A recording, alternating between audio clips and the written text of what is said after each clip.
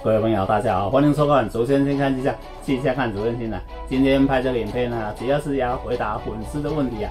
他问说，怎么从物理系统来看 EG 系统还有 GFS 呢？首先，在网络上搜寻到问题之后啊，你进入之后就是 EG 系统的画面了。你想要看 GFS，就点一下画面，会出现这个打叉还有勾勾黄色的标志啊。这个标志点进去之后，它会在右下角会显示另外一个网页啊，你可以看到当前的模式，也就是 EC 系统啊。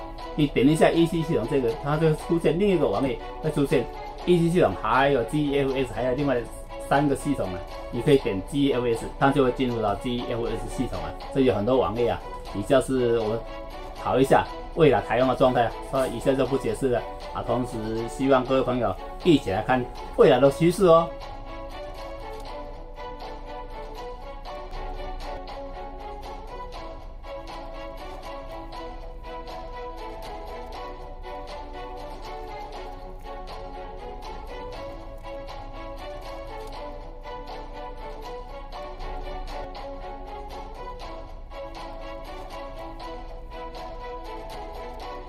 请继续收看，昨天先看一下气象的专辑，拜拜。